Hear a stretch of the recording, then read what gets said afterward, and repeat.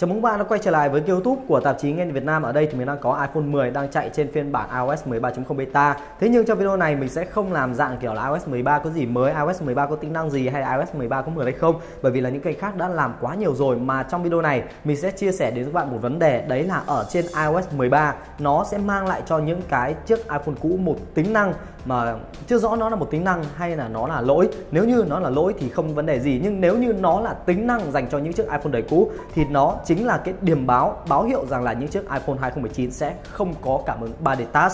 Bởi vì trước đây các bạn đã thấy rằng là những cái tin tức kiểu là iPhone 2019 không có 3D Touch hay là iPhone 2019 bị loại bỏ đi bị khai tử đi 3D Touch rất nhiều rồi. Nhưng nó cũng sẽ chỉ dừng lại ở việc đấy là những cái tin đồn và những dò gì. À, nhưng mà ở trên phiên bản iOS 13 này chúng ta đã có một cái tính năng một cái tính năng. Nếu như không phải là lỗi thì nó chính là điểm báo báo hiệu rằng là cái tin đồn đấy chính là sự thật.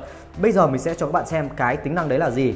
Thì trước tiên mình sẽ đi vào bên trong cái phần trợ năng này. Mình sẽ đến phần cảm ứng và mình tắt đi 3D task. Mình đã tắt đi rồi nha bạn. Và khi mình đi ra ngoài này, mình bấm vào đây. Nhả dạ đó, các bạn thấy gì không ạ? Các bạn thấy gì không ạ? Và các bạn thấy gì không ạ? Nếu như các bạn đã từng sử dụng cái chiếc iPhone XR hay các bạn có đọc những cái tin tức liên quan đến chiếc iPhone XR thì đó là chiếc máy của nhà Apple ra mắt ở năm 2018 nhưng không được trang bị 3D Touch và Apple đã mang lên cho nó một tính năng, đấy là haptic touch giúp cho các bạn khi mà giữ vào cái icon này một lúc thì nó sẽ đưa ra cho chúng ta những cái tùy chọn nhanh giống như là đang sử dụng 3D touch với tính năng đấy được mang lên chiếc iPhone XR thì mình không nói làm gì rồi, bởi vì đó là chiếc máy không được trang bị 3D touch nhưng mà nó lại được mang lên cả chiếc iPhone X, là một chiếc máy được trang bị công nghệ 3D touch thì đây chính là một cái điểm báo. Nó là một điểm báo. Tại sao ư?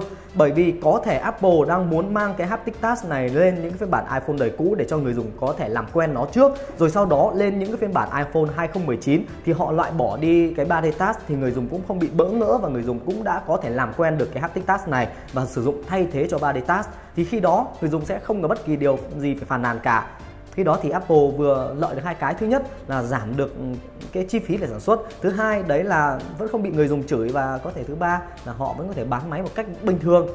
Và các bạn thấy ừ, mưu Apple quá kinh khủng, quá ghê gớm. Nhưng mà cái vấn đề này thì nó vẫn sẽ phải phụ thuộc vào một yếu tố, đấy là cái phiên bản này nó vẫn đang là phiên bản beta và có thể đây đang là một cái lỗi. Nó mang haptic touch lên những cái chiếc iPhone có 3D touch còn nếu như nó không phải là lỗi của iOS 13 beta, thì đó chính là điểm báo và những chiếc iPhone 2019 sẽ bị loại bỏ đi 3D touch và theo các bạn thì đây sẽ là một lỗi của iOS hay là đây chính là điểm báo những chiếc iPhone 2019 sẽ bị mất đi 3D Touch như tin đồn xin một comment để lại cái suy nghĩ của bạn ở phía bên dưới phần luận của video. Video của mình thì tạm dừng lại tại đây. Các bạn cảm thấy thích đừng quên để lại một like, share và bấm vào subscribe kênh YouTube của tạp chí Nghe Việt Nam. Xin chào và hẹn gặp lại trong những video lần sau.